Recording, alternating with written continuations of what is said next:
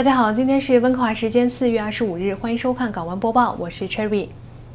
卑诗省公共卫生局最高健康官员亨利本周三在省议会发布了近五十页报告，介绍了该省自从发生使用毒品过量危机以来所采取的政策，包括扩大受监督的毒品注射点、建立一个专门用于精神卫生和成瘾的治疗部门，以及公共资助纳洛酮试剂盒的快速分发系统。这份名为《停止伤害卑诗省使用毒品的人合法化》的报告，引用了卑诗省受管制药物和物质法下2008年至2017年发生24万4千多起罪行，其中81%是盗窃等非暴力犯罪，超过3700人死于可预防的毒品过量服用。亨利对卑诗省自2016年以来制止过量毒品危机的政策进行了概述，强调非刑事化是制止过量毒品的根本基础和必要条。条件建议省政府紧急将非毒品藏匿为个人用途，称毒品使用要被视为公共卫生问题，而不是刑事司法问题。亨利说，目前基于刑事司法的框架为吸毒者获得治疗服务设置了障碍，并使人们待在家里吸毒，造成单独使用和死亡。他建议研究如何将拥有毒品供个人使用的人合法化。东南亚社会哥菲律宾总统杜特尔特周二公开表示，鉴于目前的形势，未来几周内将会向加拿大宣战。据 CNN 菲律宾报道，接受媒体采访时，菲律宾总统杜特尔特称：“我可能下星期就会警告加拿大，如果他们依然不能把垃圾清出去，我们将与加拿大开战。我们无论怎样也能对付他们。”其实，惹得杜特尔特大动肝火，甚至不惜与加拿大开战，其实还真的就是一批已经在菲律宾港口腐烂到。快降解的加拿大垃圾。二零一三年到二零一四年间，总共有一百零三个装有两千四百五十吨垃圾的集装箱被送达菲律宾。菲律宾海关人员在检查这些外部贴有可回收塑料标签的垃圾箱时，却意外地发现，所有的垃圾都是不可回收的。负责垃圾货运的加拿大私企没有任何进口许可，因此这批垃圾被菲律宾宣布为非法。据菲律宾媒体称，这些垃圾中装满了来自加拿大家庭的垃圾，包括电子废料。成人纸尿布、各种塑料袋和厨余垃圾等等。由于一直得不到妥善处理，这些垃圾已经腐烂快六年了。而且，垃圾堆放的港口就在菲律宾首都马尼拉旁边，很多郊区的居民都能闻到垃圾散发的臭味，苦不堪言。虽然菲律宾法院2016年就下令让加拿大赶紧把这些垃圾弄走，加拿大总理特鲁多此前也一直表态，称他非常致力于寻求解决垃圾问题的方法。而据称，加拿大方面寻求解决问题的方法是尝试说服菲律宾自行处理这些垃圾。这也不奇怪，从2017年开始，中国突然开始禁止进口洋垃圾，减少洋垃圾对国内环境的危害，结果这瞬间导致了整个西方世界的垃圾无处可去的局面。包括加拿大在内的发达国家自己没有能力回收垃圾，各地垃圾场纷纷告急。大约也是从中国禁止进口洋垃圾开始之后的一个月。加拿大对环境保护的态度突然变得十分积极，包括停止使用塑料吸管等。菲律宾的这两千四百五十吨垃圾债，如果真的运回加拿大，对已经在垃圾问题上焦头烂额的加拿大人来说，也是灾难性的。但是，根据巴塞尔公约，发达国家禁止在未经知情同意的情况下向发展中国家运送有毒或危险废物。而且，根据公约，加拿大还理应交给菲律宾一千万加元以上三千万加元以下的赔偿款。除了宣传外，杜特尔特还强硬放话说，他要亲自把所有的垃圾都。装船运回加拿大，然后让加拿大准备一个隆重的交接仪式。最近加拿大各地区的油价真的是越来越高了，大温当属其中之最，甚至可以用“丧心病狂”四个字来形容。从一五四到一六零到一六九，现在直接飙到了一七八点九，大温的油价已经坐上了火箭一般，连续四次创下了全北美最贵纪录，且到现在数字仍然在不断刷新，难怪已经有小伙伴们开始计划逃离大温。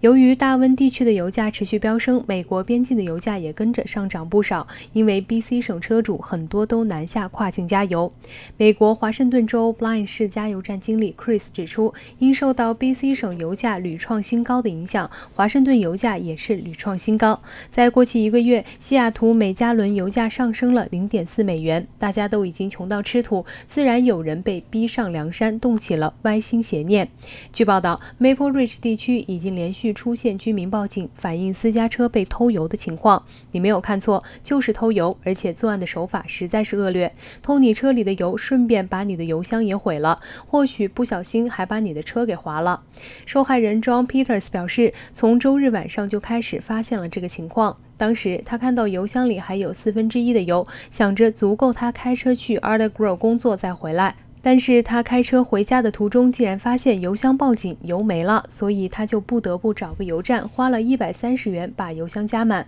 可悲剧依旧继续，开了没几步，还没有到 Golden Years Bridge 的时候，刚刚才加满的油竟然只剩下一半。这个异常的情况引起了 Peters 的注意，他立即下车查看，才发现油箱上有一个八分之三英寸的洞。目前，Peters 还没有向 RCMP 报警，但是 RCMP 发言人 Brenda 表示，无论何时，如果居民发生这种情况，都应该及时向警方报案。为了解决漏油的问题，Peters 暂时用了一个锁环装配了一个自制的插头，然后会自己把破洞修好。因为如果去找修车行的话，修车成本在一千元左右，就算找保险索赔也要自费三百，实在是太贵了。其实这种偷油作案手法已经屡见不鲜，这两年一直都有接连发生，越来越多汽油的油箱都被人故意用钻头扎破，疑似偷油。而且这些案件基本都发生在油价上涨期间。去年兰里就发生了不少类似事件，大油箱的卡车、货车自然是他们的最爱。